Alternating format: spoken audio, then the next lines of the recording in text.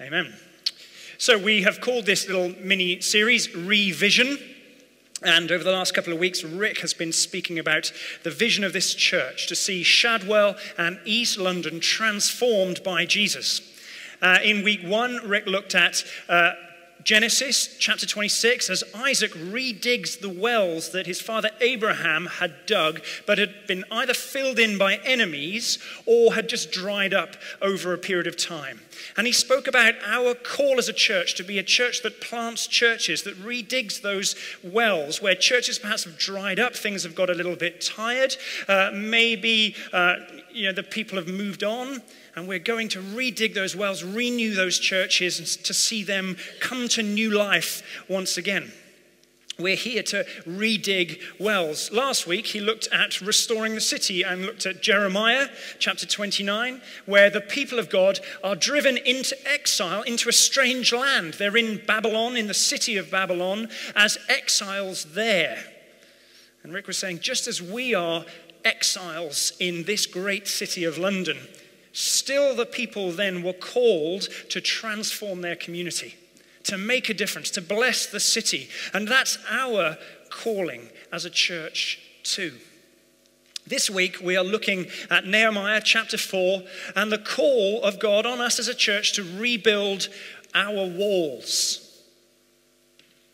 Here, the people of God have returned from exile back to their city, Jerusalem the church, God's vehicle for making disciples. And that's what we're going to be looking at today. But my question for you uh, to kick things off is a simple one. Why do you go to church? Why do you belong to a church? Why would you say, I am the church? For me, on a good day, it's because I believe the church is the last best hope for humanity. It's the body of Christ. It's the temple of the Holy Spirit. It's where we see the kingdom of God at work. On a bad day, I think, sit there and think, I'm working for a geriatric, decrepit, prejudiced institution in terminal decline. Those days don't come that often. But what about you?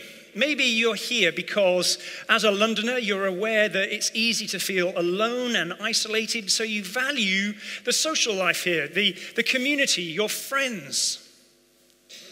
Maybe you are wondering uh, what your life holds and you're at a bit of a crossroads, so you're looking for some advice, some moral direction.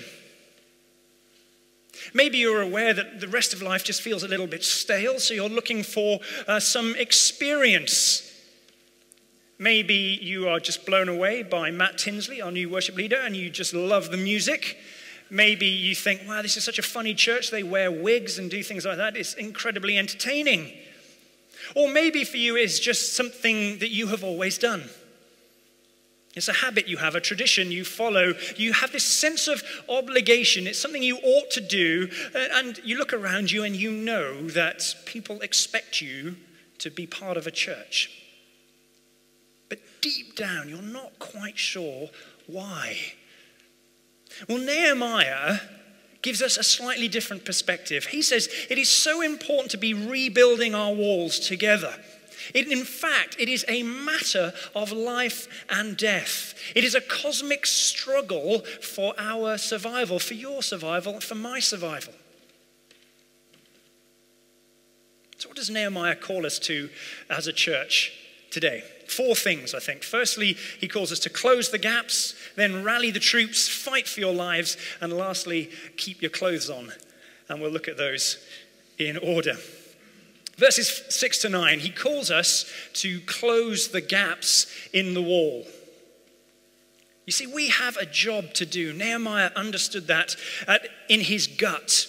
You see, the church is not about you and me. It's not about our needs. It's not about actually the friendships we enjoy, the experience of God that we have, the guidance we're looking for, important though all those things are. The job we have to do is to rebuild the walls. Here in Nehemiah, the people of God are returning from exile and they come back to a city in ruins, a city that has been destroyed, that has been broken down. And after 141 years, this generation is called to rebuild the walls. And that's our calling in this generation, as it is the calling of every generation to rebuild, to mend, to bind up healing the wounds of the living stones of the church of Jesus Christ, of those of us who are broken and wounded, who are defiant and bound by sin. It is a call to see lives changed as God works in us and through us by His Holy Spirit to make us more like Him, to make us holy. That is something we are all in together. It is obviously a work in progress. The wall here is only half its height, and it's exactly the same today, isn't it? I don't think any of us would sit there and say, well, the church is all it could be. It clearly has not yet what it one day will be. It is a work in progress. It is something that is ongoing, and it is our responsibility altogether as exiles waiting for the heavenly city. This, says Nehemiah, is what we were made for. We have a job to do. And so he says we're to do it with all our hearts. Verse, second half of verse 6. It is something to be something we are passionate about, focused on. It is to be our priority. How does it make you feel when I say to you, church matters more than anything else in your life?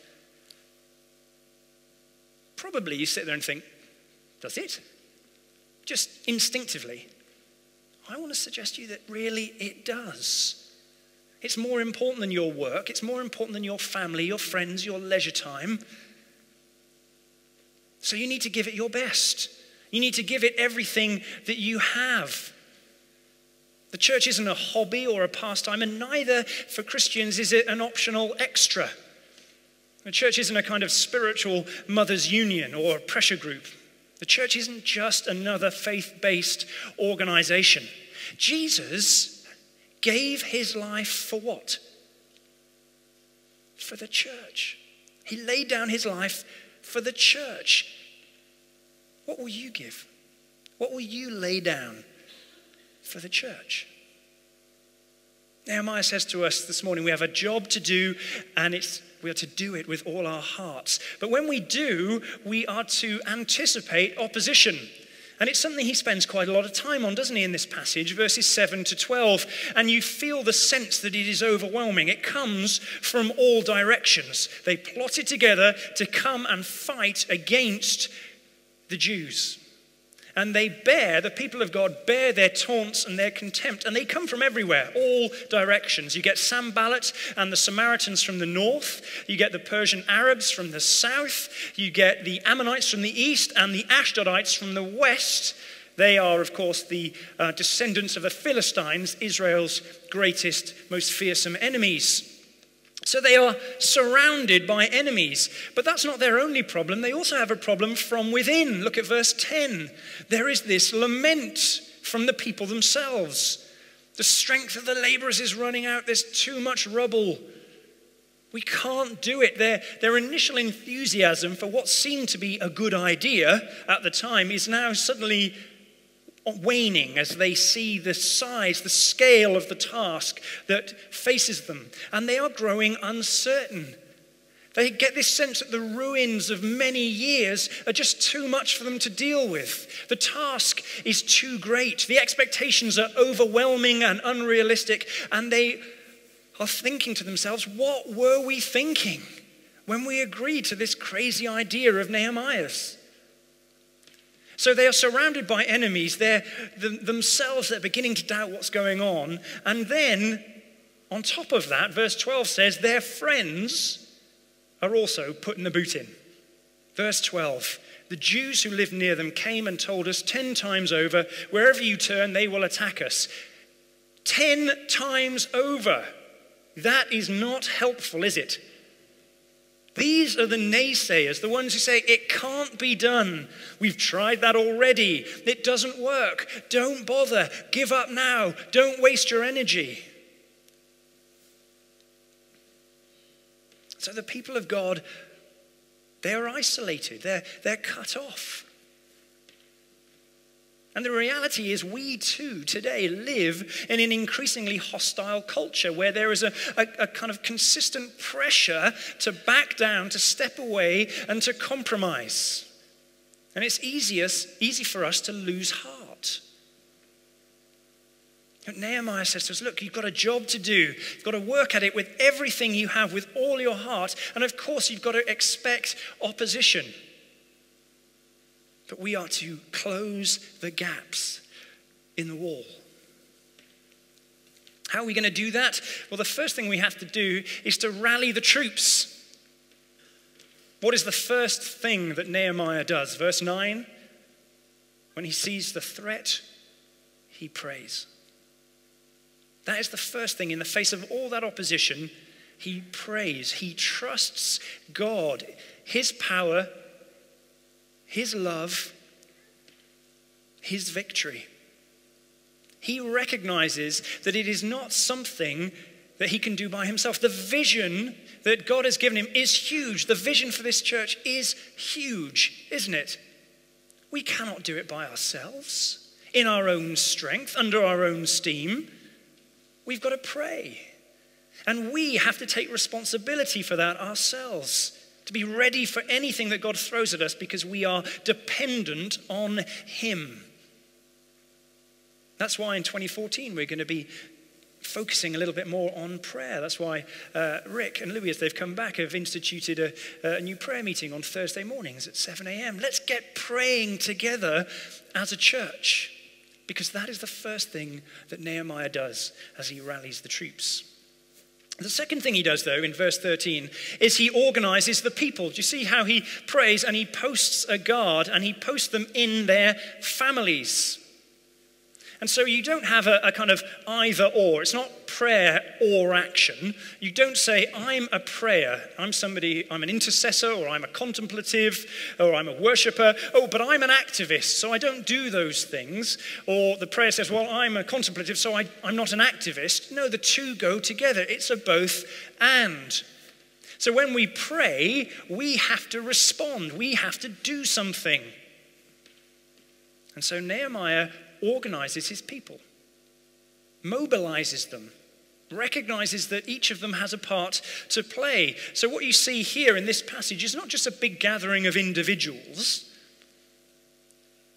there are units within the larger gathering households, clans that are bound together by bonds of kinship, bonds of affection. There are close relationships here. He talks about sons and daughters, wives, homes. And you know, we do the same thing here in this church. We are gathered here today as all the people, but we have, we organize one another into units, which we call connect groups.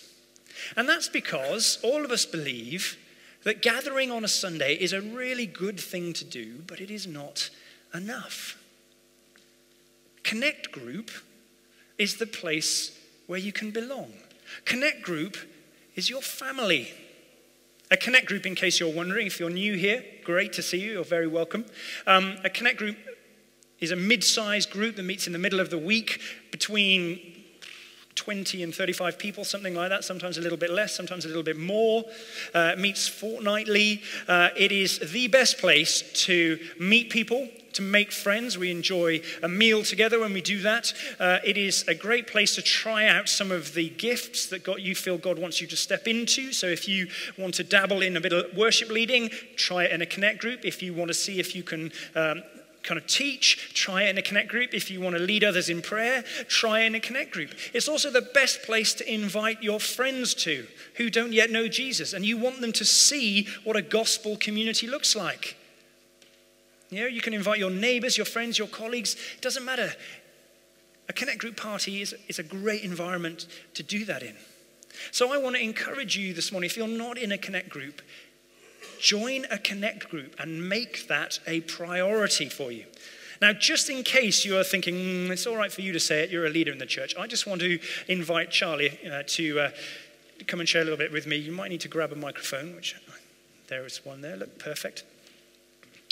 Give him a round of applause, Charlie.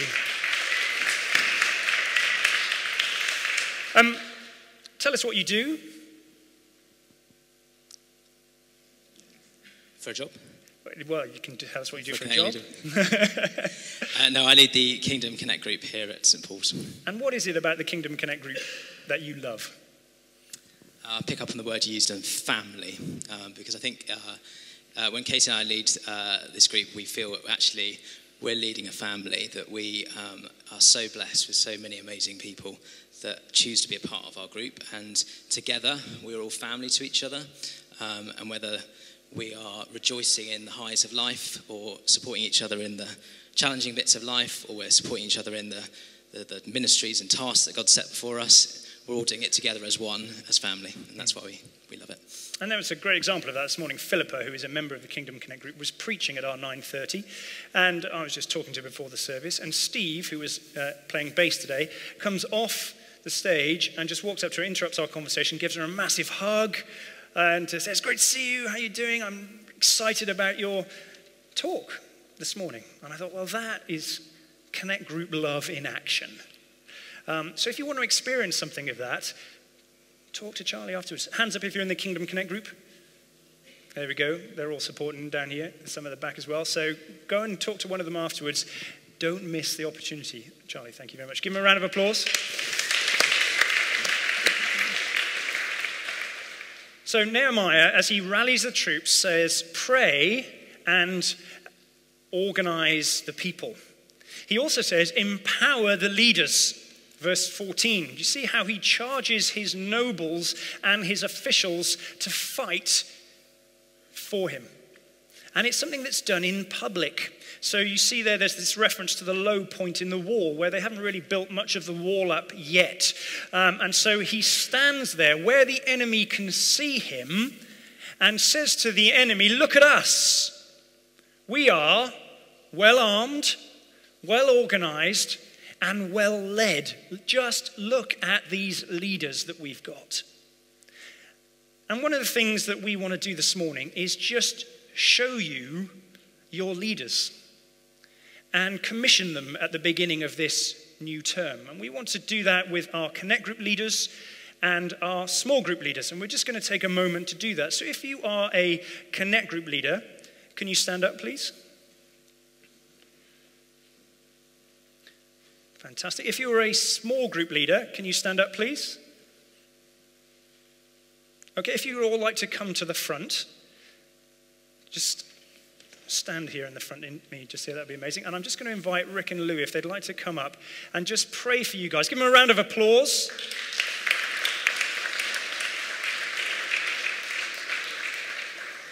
So these are various uh, connect groups, small groups within those connect groups. We'll talk about those in a little while. Um, but we're going to just pray for you. Thank you, guys.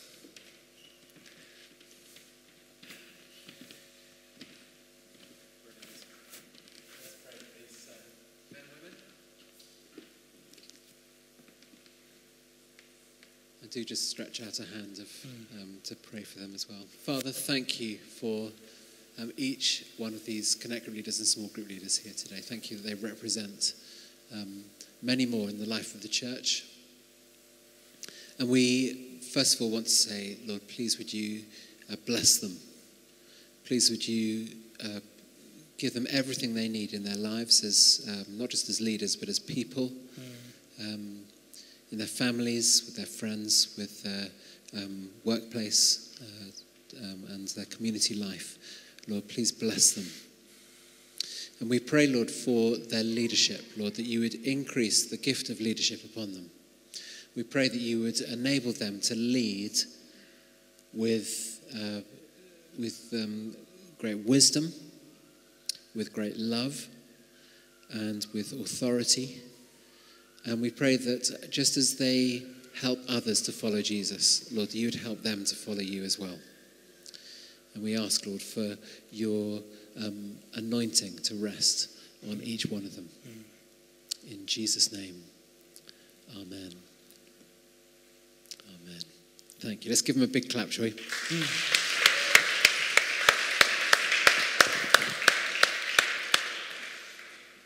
So Nehemiah, as he rallies the troops, prays, he organizes the people, and he empowers his leaders. The last thing he does is he communicates clearly. Do you notice in the second half of uh, verse 14, his instructions are really clear, aren't they?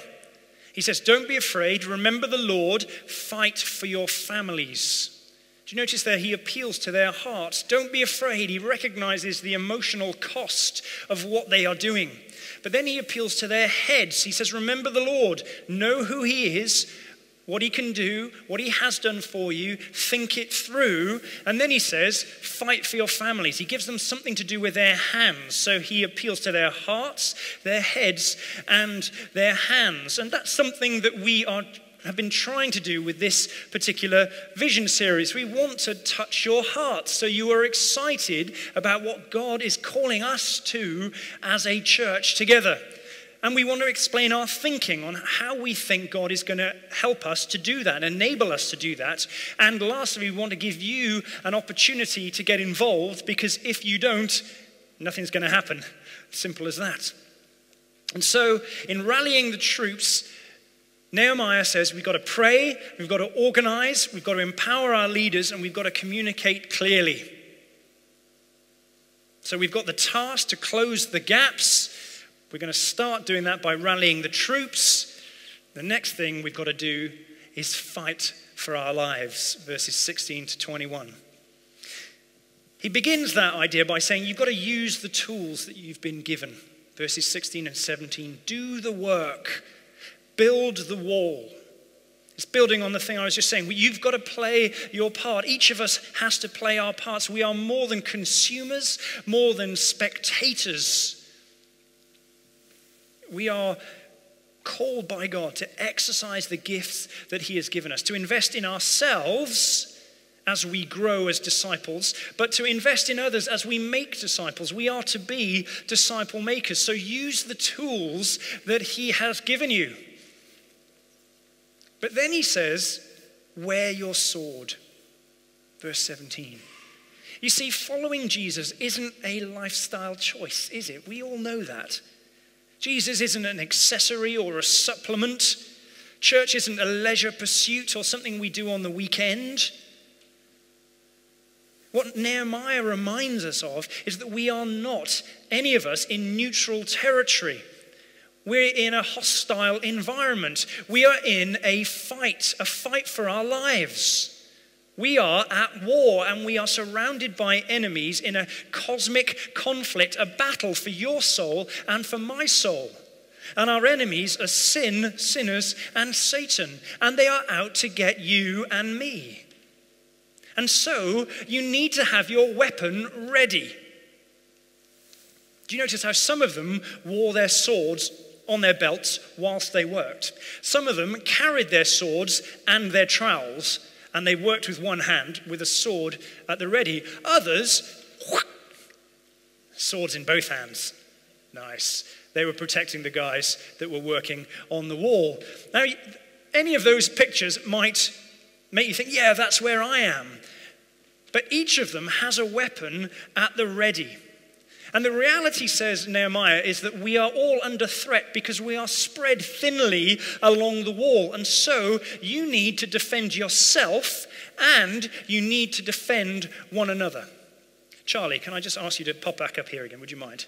That would be really good. So, this is the picture. Just, um, just stand there like that. That's amazing. I'm going to stand you like this. Get your swords out. Okay? Imagine us surrounded by orcs. This is Lord of the Rings okay? And we are fighting the orcs on either side, okay? And we are protecting each other's backs. If I do this, he's in trouble. So I've got to stay here, and he has to stay there. That is the call. Thank you very much, Charlie. You're doing well today. Um, the picture that is painted here is hand to hand combat in the trenches, on the ground. It is you know, guerrilla warfare. It's hard going. But that is the environment that we are in as followers of Jesus. So, what are your weapons? When Charlie and I were up there, what, what do you think? What's my weapon? What do you use? What's your thing? I think God gives us two primary weapons. He gives us scripture on the one hand and prayer on the other. The promises of God to speak over ourselves as we defend ourselves and to speak over others as we defend one another. And the power of God as we pray to break spiritual forces of evil in the heavenly realms. Do you know how to use your weapons? We've got some scripture Saturdays coming up over the next few months. Uh, come along on a Saturday morning. We're going to dive into a particular book of the Bible. We're going to spend some time trying to understand how the Bible hangs together as a whole. It allows you to wield your sword with precision and expertise. Uh, early in the new year, we're going to be uh, running a prayer ministry course. Learn to pray for one another that we may defeat the enemy that seeks to overwhelm us. So use your tools, wear your sword. Thirdly, he says, listen for the trumpet. Verse 20. Be ready, be alert, be focused. He's saying, pay attention wherever you are, whenever it is. He's saying, look, guys, you need to understand this is not a game. We know that really, don't we? It's serious business. And he says this thing that I find really interesting. Um, verse 20 Whenever you hear the sound of the trumpet, join us there. Our God will fight for us. And you know what went through my heart at that point when I read that? I want to see God fight for me. I want to see God fight for us. And to do that, I've got to be there. I've got to respond to the trumpet blast, to the call. And so have all of you, if we're going to do it together. So we need to be ready as we listen for the trumpet. So use your tools, he says. Wear your sword, listen for the trumpet. That is how you fight for your lives. And lastly, he says in verses 22 and 23 keep your clothes on. You're thinking, what is he going to say now? What he means here is we need to go deeper. Don't take your clothes off. There's no downtime in the Christian life. We're not supposed to hide parts of our life away uh, that others in the church can't see. We need to get to know each other. We need to be transparent in every area of our lives. We need to be vulnerable. We need to be real. We need to go deeper. And of course, that takes time. So here he's talking about 24 7. They're not going on breaks, are they? So we are not talking about Sundays. We're not even talking about a meeting in the week. We're talking about day and night living life together. So we need to go deeper, and that takes time. And so I want to encourage you if you are in a connect group, but you're not yet part of a small group, join a small group. A small group, a connect group is made up of small groups. And the small group is really the place to grow no more than eight people. And re- it's, it, we're developing it as the kind of vehicle, if you like, where we are hoping we will be making disciple makers. It's the place where you can be discipled by a pastor. It's the place where you can share life with just a few people. It's the place where you can examine your hearts together and see change take place. Next week, we're going to begin a new series called All You Need Is Love. And that's where we're going to be launching a resource for our small groups called Making Disciple Makers. And we really hope that can be of use to you as you seek to, to grow as a disciple of Jesus, but also to be a disciple maker yourself. So if you're going to go deeper, it takes time to do that. That best takes place in a small group. So Nehemiah is saying to us close the gaps.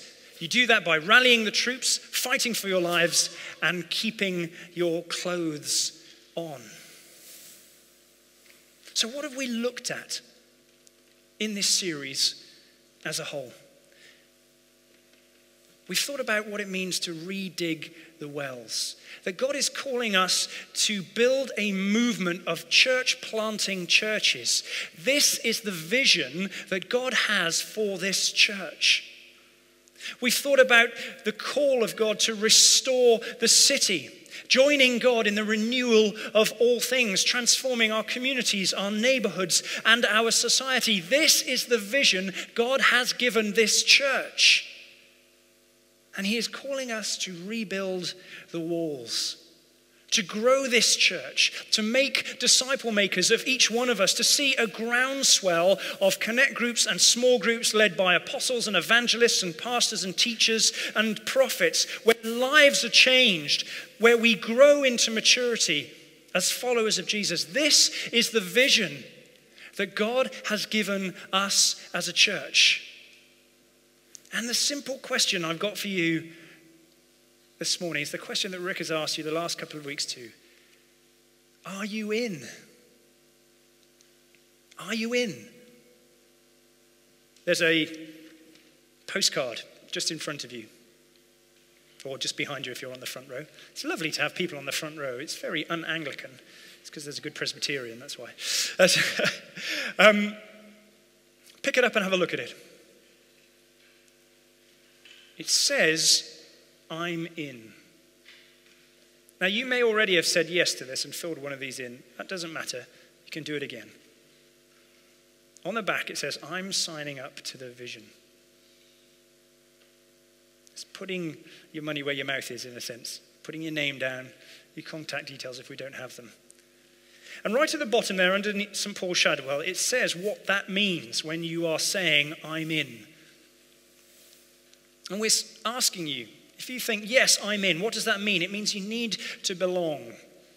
So if you say, I'm in, that means you are either in or going to join a connect group. And the good news is, is that all the connect groups are meeting together this week on the 1st of October or the 2nd of October, Monday, or uh, Tuesday or Wednesday. So now is the week to try out a connect group for the first time. It also says that if you are in, you are committing yourself to grow.